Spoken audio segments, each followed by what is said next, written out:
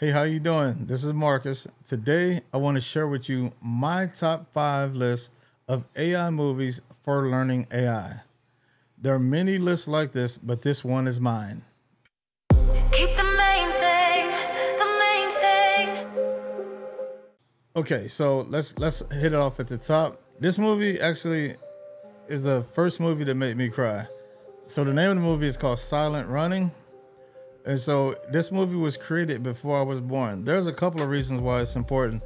This movie is super important. There are movies talking about artificial intelligence before this, or the whole concept of artificial intelligence before this movie. But this movie is the first movie I saw, I can remember, that made me cry. This is one of my first memories as a kid. Back in the day, TV used to come on. It was like it was like after after the news, and this movie came on a couple of times, and I cried every time. It's about a man. It's about a man, some robots, and and pretty much the end of civilization. So it's very good. And what's funny is this movie is 50 years old, right? About 50 years old, and it's talking about the same stuff that we're talking about now, which blows my mind. So for a couple of reasons, it's talking about robotics, and these these robots are intelligent, and they're helping out humanity. Uh, so I love that movie uh, because it hits on all the themes, and it's like the first movie I legitly remember growing up. So, second second movie is Short Circuit. Um, I remember seeing this movie when I was around the third grade. Um, since AI is a part of um, AI and robotics are, are kind of go hand in hand. Some people don't like that, but uh, that movie was great. I remember crying at that movie too. funny enough, and so uh, the other movies over here, I didn't cry at, but I remember crying at, at uh, you know, at Johnny Five and all that stuff. So, really good movie. All right, next movie uh, is War Games, and this movie made me want to be a hacker. This, I wanted to work with computers. I wanted to break into computers. It's War Games. War Games is my favorite movie of all times. Uh, I think War Games has had a profound effect on my life. What's interesting about that is uh, it was a computer sec- uh, security scenario where he, he kind of hacked into this AI system, and the AI, AI system uh, had access to the nuclear, uh, the U.S. Uh, United States nuclear apparatus, which was amazing. Funny enough, uh, that's one of the main concerns that we have nowadays with with AI and the military, the military, and all these different things uh, in which we see AI companies signing big contracts with the DoD in the United States. So a lot of people are worried about that. But again, that movie came out when I was, I think, in the third grade. Without a doubt, War Games is one of my um, most favorite. That's my favorite movie of all time. I can't even lie. All right, the next movie, it might be the best end-to-end AI movie that I've seen, and I'm talking about all the whoever the technical consultants were, a a plus to them on this movie. The writers, they did a fantastic job.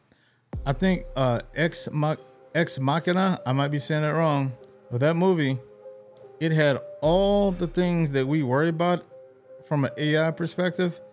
It's in this movie. It talks about it talks about technical terms. It talks about all these different things, and it's a great it's a great movie because when I think of AI, most of the stuff we hear all the time is all the technical things, the ethical stuff, the biases. It ha- it handles all that pretty well. And then the next movie, one of my favorite movies is Her, which is Her is like super eerie because if you watch it now, that movie came out a couple years ago, probably about 10 years ago.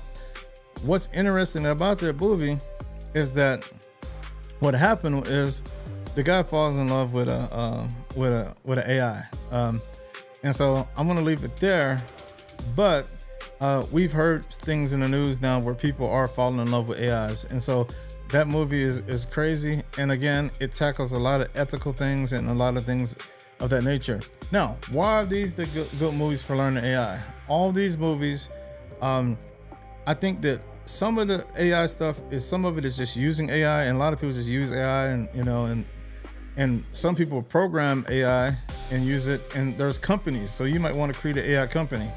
Well, all of these concerns and all those different things, those are five movies that I, I believe that would be 10 hours of time. It would it would get you up to speed really quick on some of the ethical dilemmas that have been reaching back for like over 50 years. some people think AI is all new, but the truth is, we've had probably like you know, probably four or five AI uh, bubbles, and and and we're just on the latest AI bubble now. So these movies are, are great. Uh, again, uh, I tell you, it, and they handle everything. They handle ethics. They handle uh, DoD because Short Circuit I think was a DoD machine.